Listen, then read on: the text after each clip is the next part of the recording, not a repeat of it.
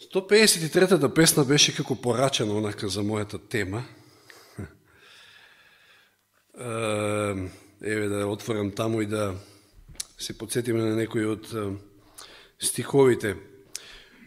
Овака почнува, што се боиш, зар не гледаш, на кормило стои спас. Уште една се спомнуваше да во последната строфа Вика, таму вера нас не води и по бурното море, пак сме срекни, пак сме срекни, што накормило е спас. Темата ми е насловена Тој има контрола. Почнувајќи од оваа тема, всушност, на некој начин ќе привршиме, не сакајќи, ама ете така испадна цело лето, па и повеќе, може би да го проучуваме Евангелието според Лука, но верувам дека не беше случајно и сега на некој начин како увертира пред светата вечера, а и веројатно може и после светата вечера, ќе видиме, зависи како ќе ме води Господ, ќе ги опфатиме оние последни глави од Лука, всушност оние глави кои што се занимаваат со последните мигови од Христојот живот овде на земјата, нели пред да биде уапсен, осуден и распнат. Така да сега ќе имаме проучување на делот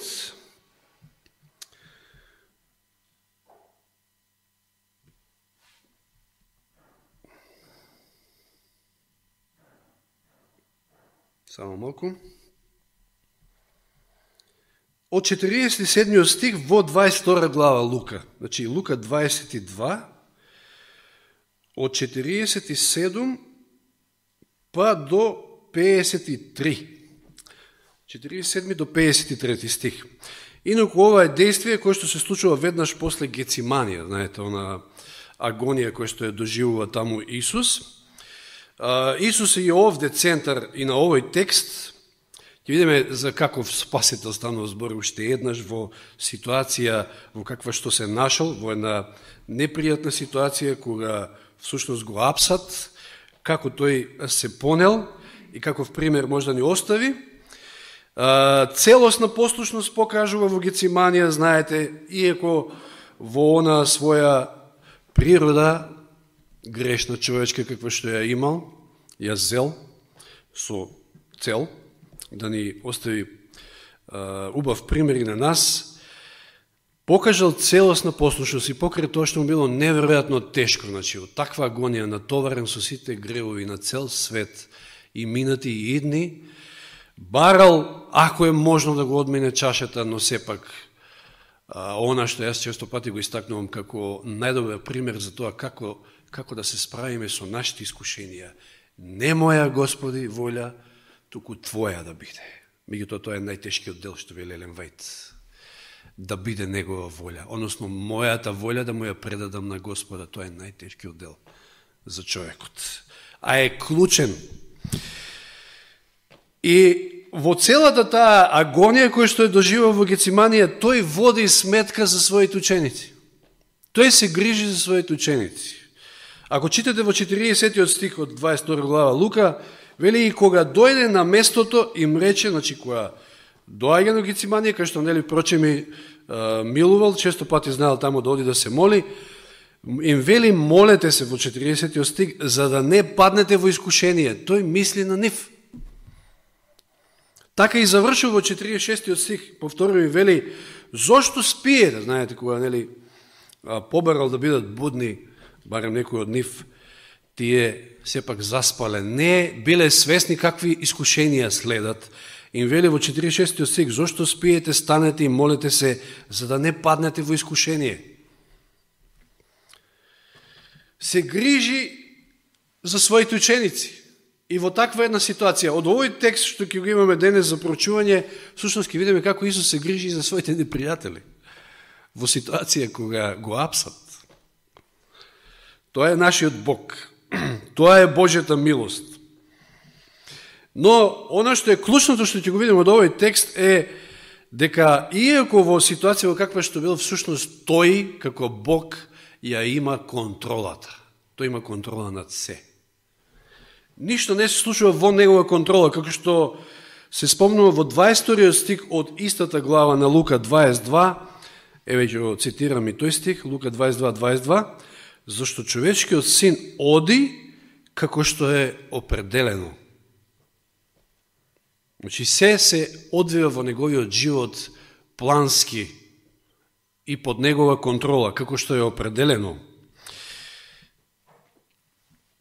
Ке видиме како е предаден од страната на Јуда, но тој не е жртвата, иако може би така изгледа, туку а, тој е оној кој што има се под своја контрола. Тоа е клучното. Затоа и а, ме подсети ова песна, значи, што се боиш, зар не гледаш на кормило стои спас? Господ кој што има контрола над сите нешта. Значи, ќе го видиме и неговото предавство, Ќе го видиме предавникот Јуда, ќе ги видиме злобните свештеници и старешини, ќе ги видиме преплашените Христови ученици и во целата таа збрка, во целата таа ситуација, Исус, кој што единствено има контрола над се. Само тој знае што се случува и зошто се случува, и тој како да ги диктира настаните. Ова не поучува дека во светот во кој што живееме имаме само две можности, драги браки и сестри. Да не живееме во илузија, зато, тоа, зато што тоа е ништо друго, туку само илузија, дека ние имаме некаква контрола над своите животи. Тоа е илузија. А луѓето така мислат, луѓето кои што не го познаваат пред се Бога, кои што не ја познаваат ова, вистина мислат дека имаат контрола над своите животи. Заборавете, тоа е само илузија. И втората можност е дека само Бог ја има контролата и тоа ние како христијани треба да сме го почувствували, да го знаеме и од нашиот личен живот и однос со Него. И во оваа ситуација, што ќе ја читаме од 47 до 53 стик, изгледа како да непријателите ја имаат контролата, Христовите непријатели. Меѓутоа не е така. Ајде да читаме од 47 стих. Лука 22. Додека уште зборуваш, ете едно множество. Пред него одеше еден од 12 мината, кој се викаше Јуда, и му се приближи на Исуса да го целива. Но Исус му рече, Јудо, со целив ли го предаваш човечкиот син? А кога оние кои беа со него видоа што ќе стане, рекоа, Господи, да удриме ли со меч? И еден од нив, знаеме дека од другите извешти тој е Петар, го удри слугата на правосвещеникот и му го одсеше десното уво. А Исус одговори и рече, оставете го тоа. И се допре до увото и го излечи. Тогаш Исус им рече на оние кои се кренаа против Него, на свештениците и главатарите, на началниците на храмот, на старешините, и излеговте како на разбойник со мечеви и стапови.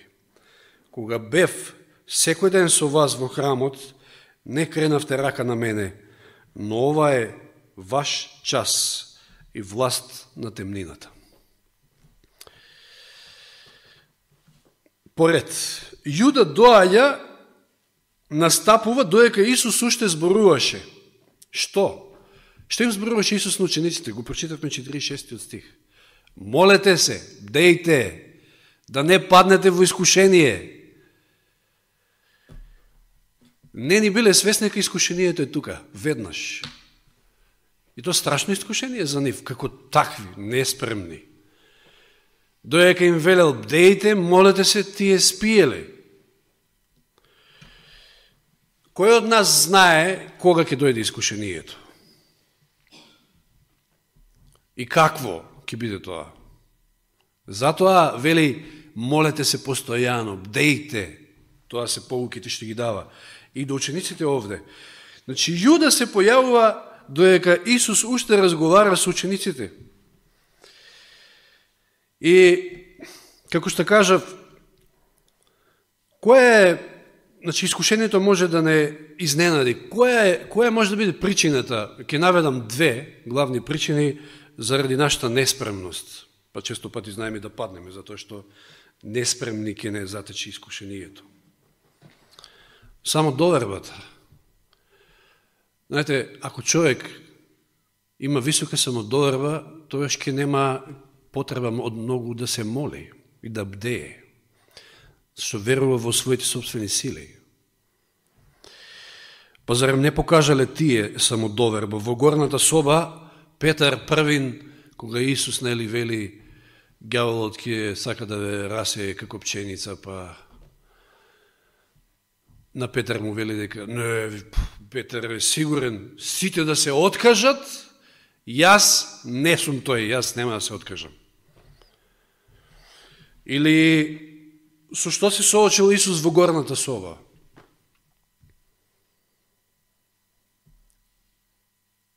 Подосно. Мислам подосно. Предходно, да. А, со надпревар борба меѓу учениците кој, кој е најголем. Никој не станал да ги да ја одигра она улога на слуга, да им ги измие нозите, па Исус им покажал со пример. Значи, самодоверба. Самодовербата е страшна работа. Затоа недостасува бдење ако веруваме во самите себе. Втора можност, голема можност е кога гледаме на нашите животни околности, без да се насочиме на тоа и да сватиме дека Бог ја има контролата. Го забраваме Бога од целата слика, го вадиме. Наместо да бидеме мирни, сталожени и да чекаме на Бога, затоа што Бог ги води настаните. Тоа е кога имаме целосна довера во Него и кога веруваме дека Тој е зад кормилото. Тој контролира се. Тој е суверен. Исус им кажал предходно што ќе биде. Исус самиот пример им покажал дека треба да бидат мирни, оти Бог ги води на станите. Но тие беле пак изненадени од ова искушение. Токму заради тоа што нивната неспремност се поврзува со тоа што не бдееле, не ги послушале советите на Исуса Христа. Второ, што забележуваме 47 стих, е, уште сме кај Јуда, доека вели уште зборуваше ете едно множество пред кого одеше еден од 12 мината. Доаѓа мноштво, множество на луѓе и тоа добро вооружани за тие прилики таму. И кој ги води? Јуда. Еден од 12 мината го води мноштвото за да го предаде Христа на властите. Страшно. Еден од 12 мината го пред, ги предврди властите, мноштвото, свештениците, кои се не биле, тука имало и римски војници, за да го уапсат Христа. Ово, знаете на што ме подсеќа? Ово е страшна работа. Трагично. Многу трагично. Но ме подсеќа на многу одамна сум читал, не ни знам каде беше сето тоа, но Елен Вајт гледа еден вид визија каде доаѓаат властите, полиција, да кажем, и било што е во наше модерно време, така да го представиме, а нив ги води некој брат, сестра, да кажеме, од црквата, која што е тука за да покаже каде седи таа, еве, каде седи било кој брат кој што нели треба да биде предаден на властите. Па нели стои во Библијата дека ќе ве предаваат браќата, сестрите. Страшно, многу трагично. Јуда, еден од 12 мината, го води ова мноштво. А од што било сочинето, во 52 стих се спомнува од истата глава во Лука вели тогаш Исус им рече на оние кои се кренаа против него, на свештеничките главатари, на началниците на храмот и на старешините и дури и нагласува со што биле обезбедени со какво оружје, излеговте како на разбојни со мечеви и стапови. Можеме да читаме во Матејеве, да речеме 26.47 паралелните текстови кои што нели ни даваат малку по широк увид. Матеј 26:47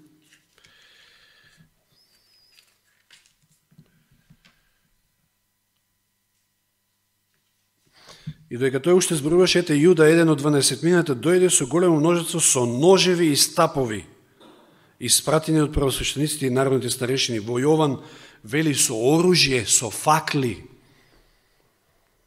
Јован додава и кажува дека тука имало и римска чета, римски војници присутни. Што мислите, како да одговориме на ова? Зошто доаѓа до заби вооружени? Кого апсат? Имаше на времето тука циркуси се прави во оваа наша држава. Бедна. Како апсија, со какви процеси и што правеа све. Значи, тоа на телевизија све снимено да се види кој што како. Кого апсат? Го апсат Исуса. Каков човек беше Исус, мислам, каков пример остави. Па затоа им вели, што доаѓате бе на мене како на разбойник, со стапови, со мечеви, Но тоа е затоа што така размислуваат злобните, знаете, тие би реагирале така, кога би се судриле со таква ситуација. Значи, тие очекувале самите отпор. И отпор пружиле, ама кој? Учениците пружиле, се обиделе да пружат отпор, меѓутоа Исус бил против тоа.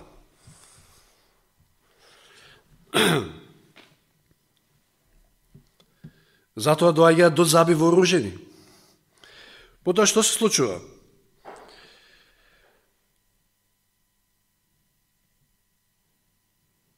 Јуда му се приближи на Исуса и го целива. Јуда го бакнува Исуса и на тој начин покажува кој е кој. Значи, да го фатат. Страшна работа. Зошто избрал баш ваков начин? Па бакнежот, нели е обично знак на близкост, на љубов, на пријателство и така натаму со бахнеш да го издадеш. И тоа кого? Што вели во 48 стик, кога му вели Исус, Јудо, со целев ли го предаваш човечкиот син? Кај што често пати нели се насловува, односно, Божиот син, Бог го предаде со бакнеш. Свесен ли си што направи? Секјавате од порано кој зборувавме. Подобро на таков човек, никогаш да не се ни родил, што ќе го предаде Господа. Страшно, ова е најголемото предавство во историјата на човештвото. Јуда толку ниско паднал заради таа негова алчност пред се, за пари, станал одвртен, суров, со бакнеш да го предаде својот учител, Господа, Божиот син. И затоа Исус му се обратува со вакви зборови, но повторно тука ја гледаме Божијата милост, како да сака да го освисти ако е можно, тој веќе отишол, далеко отишол. По волите што велиме, но со целив ли го предава човечкиот син му се обрека. Исус е свесен за се што се случува. Од целата оваа ситуација гледаме дека Исус има се под контрола. Тој знае зошто се случуваат настаните. И тој го открива преку овие зборови врвното лицемерие на Јуда. Од ова поголемо лицемерие имали со бакнеш.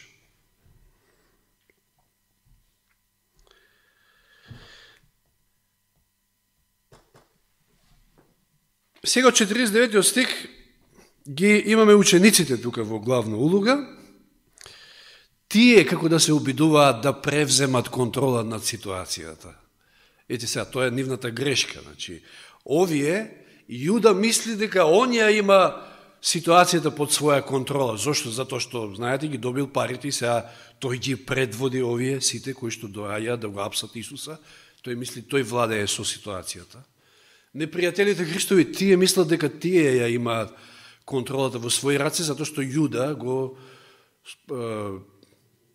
да, го користат како пиун, обичен.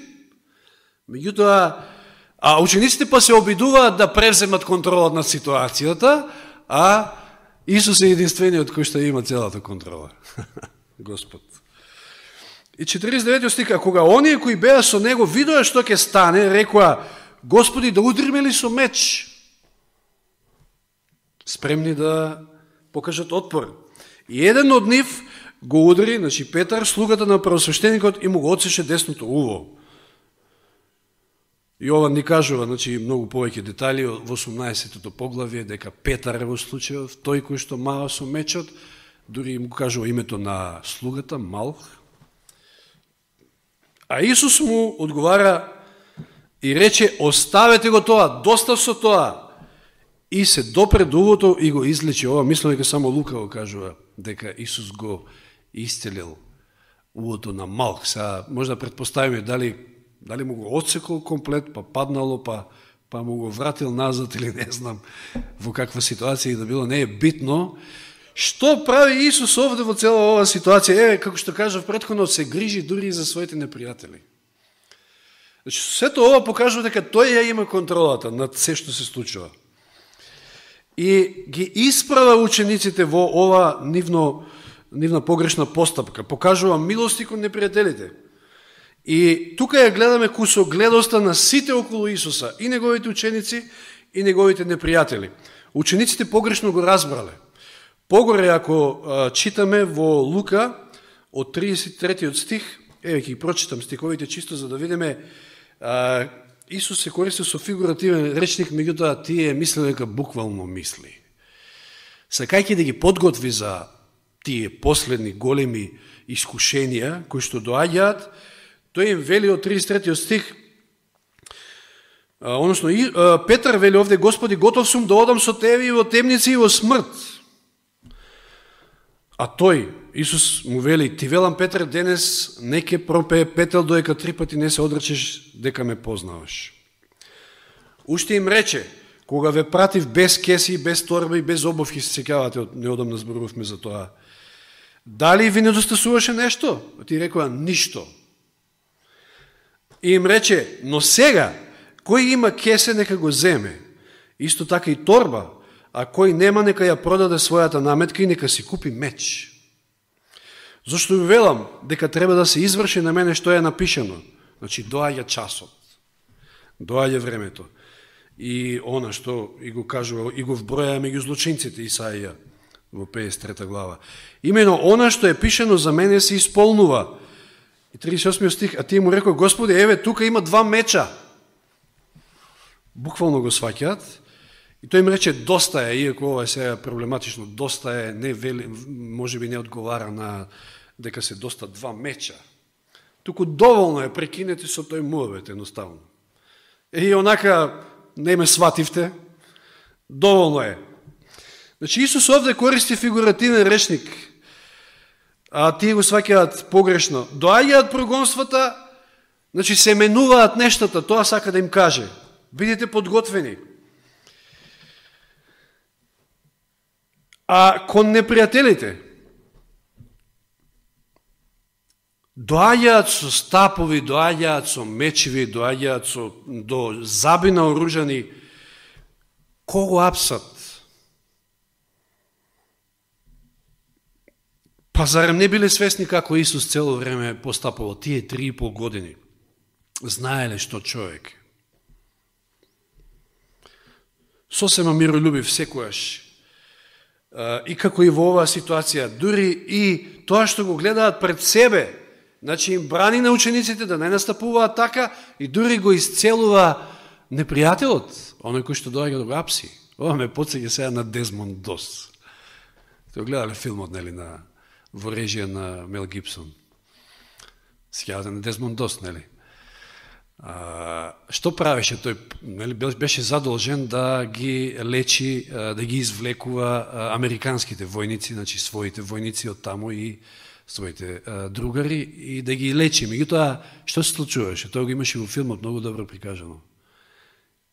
Тој не испушташе прилика да му помогне на некој јапонски војник. Да го исцели и него, ако е потребно.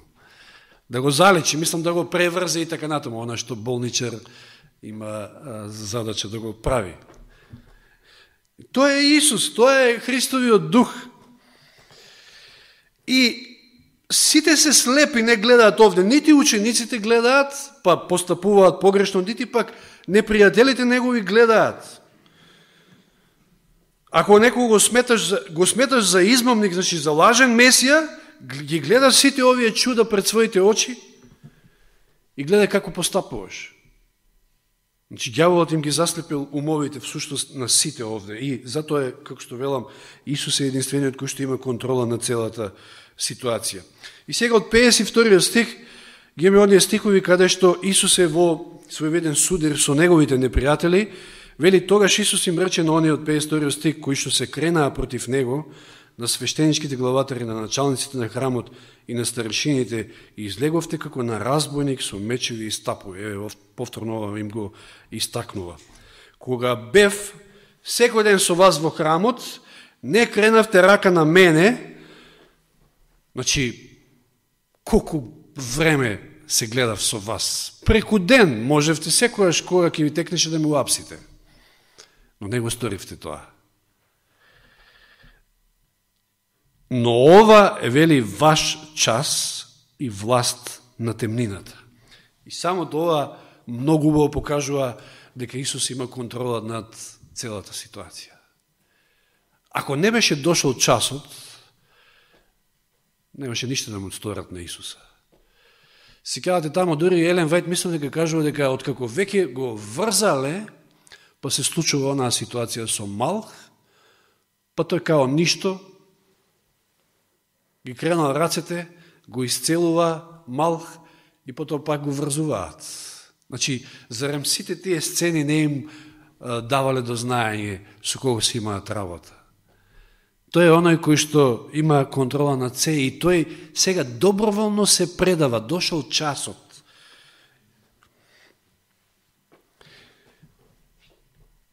Им се обраќа им вели, зошто дојдевте до заби наоружени, зарем сум јас разбойник, некој опасен, некој криминалец, таков ли сум? Што видовте во мојот живот од тоа? Меѓутоа, ова повторно ме насочува да размислувам во иднина, кога ќе дојдат прогонствата, ќе дојдат тешки искушенија за Божиот народ и кога буквално заради ништо ќе биде апсен Божиот народ, а, и ќе се однесуваат кон нас така злобно,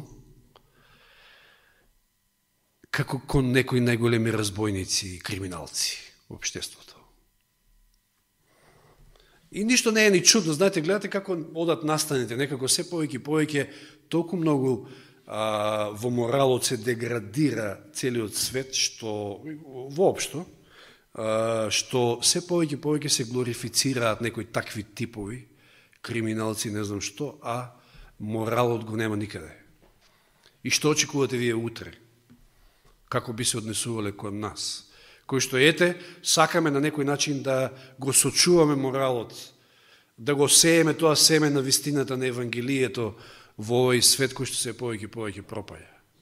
Еве зборуваме за вредности семејни и така натаму во обштество кое што мислам Перса многу добро се произнесе околу тоа и по школството и каде се не ги учат децата уште од мали да ги губат, да ги да воопшто да не ги имаат таквите вредности во, во ум. И што очекуваме што ќе се случува понатаму? Му доаѓаат со стапови. Нивното однесување е значи, многу нечесно и валкано едноставно, тука гледаме. И како што им се обреќа многу денови, бев со вас, па не ме уапсивте, и доаѓате сега ноке. Знаете ли која била една од причините? А, од скоро зборувавме, и тие многу добро знаеле зашто го прават тоа се плашеле од народот. Сепак се плашеле од народот. Многу подмолно Ноке, Ноке ќе му пресудат, без никакви докази, со лажни сведоци. Значи, намерите им се нечесни, зли. И нивните дела ги идентификува како дела на темнината, всушност. Ова е ваш час, ова е проречено, ова така треба да, ви, да биде, ова сега ви е дозволено. Јас ви се предавам, така треба. И како што вели, ова е час, ова е ваш час и власт на темнината, како да им вели, вие сте соработници со сатаната. Е, не го спомнавме сатаната во цела оваа ситуација, меѓутоа тоа е тука. Тоа е тука. И со Јуда, знаете, влезе во Јуда, стои многу јасно. И со овие старешиниве, и со сите кои што доаѓаат да го апсат, со римјаните да не зборуваме, Вие сте соработници со сатаната, со кнезот на темнината и од тоа се гледа каква е вашата духовна состојба, до кај сте дошле в сушност. И може да се очекува такво однесување, нормално. И ова е дури милост од Божја страна, од Христова страна овде. Зошто? Зато што отворено им зборува, им го предочува гревот и потребата нивно од покаяние. Тоа е милост, тоа е љубов. Знаете, кога гледате дека некој скршнал од патот и тоа отишол толку далеку, ако молчите и ако не го предупредите, не му кажете ништо, тоа ли е љубов? Или всушност противното? Ако му предочите отворено, тие толку далеку отишли што Исус се користи со вакви изрази. Значи. Затоа што ги сака и нив и ете се обидува, тоа е Божјата милост, се обидува и во оваа ситуација да поделува на кого може. И како што истакнав предходно, еве, полека да превршиме, Јуда овде мисли дека има контрола на целата ситуација, затоа што, нели, ги добил парите, ги до, доведува целото мноштво, го води предводнике,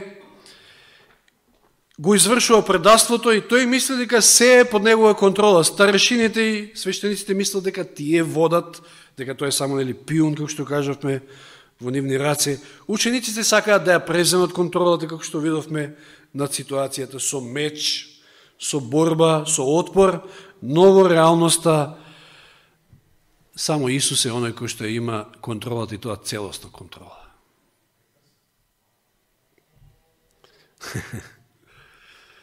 тој знае се однапред, тој е свесен за се што се случува и повторно го покажува Божиот карактер во ваква ситуација треба и сите ние, и тогашните, требало да видат на лице место, на дело, уште еднаш да го осознаат Божиот карактер, но и ние денес да видиме каков е Исус. И ако навистина сме му ги предале животите во Негови раце, тогаш нема што да се секираме, затоа што во таков случај тој има контрола и на нашите животи. Во една ваква ситуација, кај што мислите дека се е излезено од контрола, тој има контрола на ситуацијата, а камоли во наш, на нашите животи. Само да му се предадеме. Дали сме спремни да му предадеме нашиот живот комплетно? Еве, тоа беше темата и на пуката, значи и тие односи наши меѓучовечки, без разлика дали маж, жена или што и да станува збор. Ако ние сме се целосно предадени, тогаш треба да му препуштиме на него, да го гради тој домот, затоа што, како вели стихот таму, псалмите, каде беше? Джабе мажот и жената го градат домот, ако Бог не го гради. Или односите во црквата. Но ние треба да бидеме спремни целосно да се откажеме од себе, да му ја предадеме волјата нему и целосно нашите животи, да може тој да ги контролира, затоа што тоа е оној во што раче е кормилото, мора тоа да го сватиме. Тој има контрола и над воопшто над настаните во светот. Знаеме дека доаѓаат тешки времења, знаеме дека доаѓаат времења кога можеби и нам нешто слично ќе ни се случува, меѓутоа да не забораваме Господ ја има контролата над се. Нека му е слава нему. Амин.